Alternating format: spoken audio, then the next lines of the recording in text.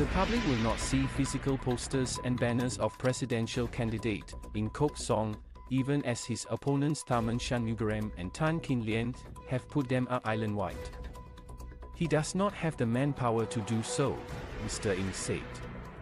Besides, his strategy hinges on social media, and it is greener to not have physical posters or banners, he added.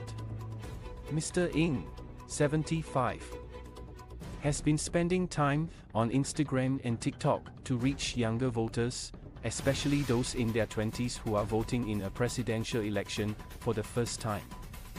Speaking to the media at Amoy Street Food Center on Wednesday afternoon, Mr. Ng said, I feel that our young Singaporeans can share my message and talk about me to their parents and grandparents. He added that he does not have the manpower to hang posters on lampposts all over the island. Therefore, I ask Singaporeans who are looking for posters and banners to understand my situation. He also pointed out that using physical posters is unsustainable. What's the point of making posters and banners? Hang them up for a few days, take them down, and then send them to be destroyed as waste, he said. Asked if the absence of posters would create the perception that there is no room for him in the contest. Mr. Ng responded, on the contrary. I want to be conspicuous by my absence of posters and banners. I'm told that my social media reach has been quite spectacular. One of my TikTok videos has reached more than 2 million people. I was very surprised by that. The former GIC Chief Investment Officer has been doing walkabouts at hawker centers and shopping malls. While posters and banners are not part of his campaign, his team of supporters will distribute some pamphlets during his walkabouts.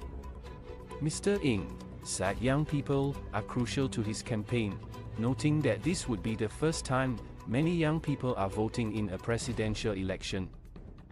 With the last contested election held 12 years ago, our younger generation will also begin to learn what is the meaning of the presidential election, what is the meaning of the checking powers of the president. So it's not just a voting thing. It is an educational process, added Mr. Ng, who was accompanied by his fiancée Sybil Lau, 45, and his team of supporters, longtime friends and colleagues from the finance sector.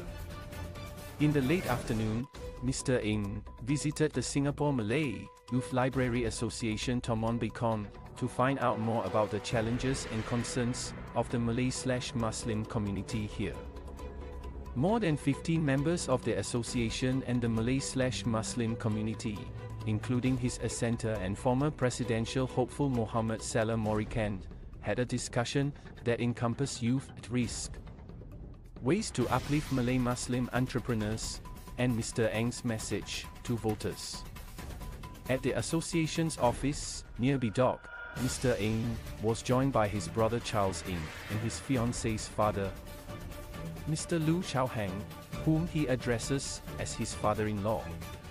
Mr. Lu was born in China and previously served as Canada's High Commissioner in Brunei. Young people vulnerable to the risks of radicalization and addiction is one of the issues close to Mr. Ng's heart. He also noted that they are now more anxious about their future and employment.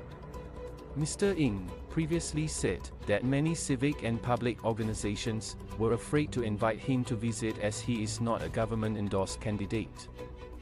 Asked if this has changed, he told the media, There is a positive change where I've been welcomed so warmly at Taman Bacaan.